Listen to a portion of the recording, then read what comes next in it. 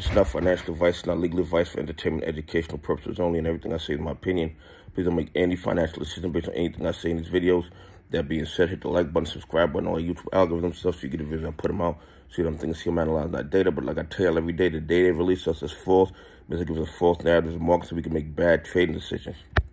Listen, AMTD Digital was allowed to run up to 300% yesterday and there were no limit up, limit down halts. After 200%, they, they hold it for a little while, but then it was allowed to run again. Yet, AMC 8 run 5% automatic halts. Automatic halts. I mean, it, it, it it's just criminal behavior on the next level, and the SEC is fully aware of it. And, and, and this limit up, limit down rules are put in place so they can keep control of any stock, so they can keep a stock from running. And here's the thing. All these Chinese stocks, it's hard to really see who is the owner of the stocks, who's the major institutional owners of these stocks.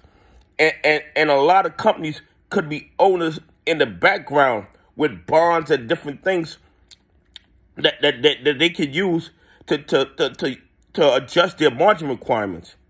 And, you know, I, I, I did a little research. You know, they say we don't do DD.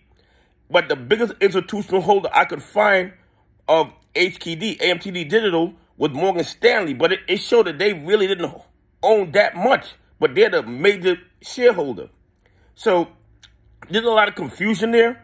And I believe they put that confusion in, in place on purpose so we can't really find out what's going on. But I'm going to tell you what I believe, and this is just a theory.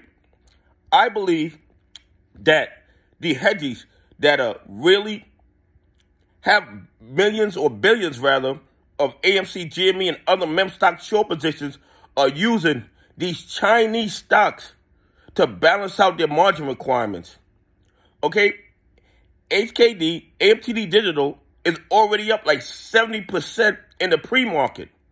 Up 70% in the pre-market. They won't let AMC run like that. They won't let Ape run like that. They won't let, let GameStop run like that anymore.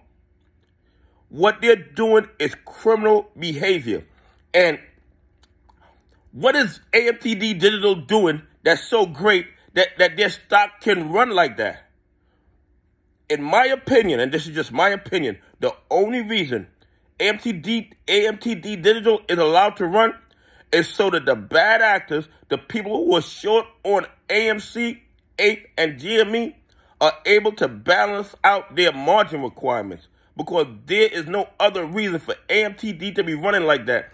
And all the limit up, limit down halts that they put in place when Ape start to move or AMC start to move, none of these seem to exist when it comes to stocks that these bad actors are longing. And the fact that it's a Chinese company, again, because they they use these Hong Kong Chinese companies because we can't really see exactly what's going on inside these companies. Anyway, hit the like button, subscribe button, and please leave some comments. Tell me what you think about Morgan Stanley being the, the biggest institutional holder, and also why are these Chinese stocks allowed to run? Are they giving them an opportunity to balance out their margin requirements? Anyway, have a great day. God bless, and I appreciate y'all on this journey with me.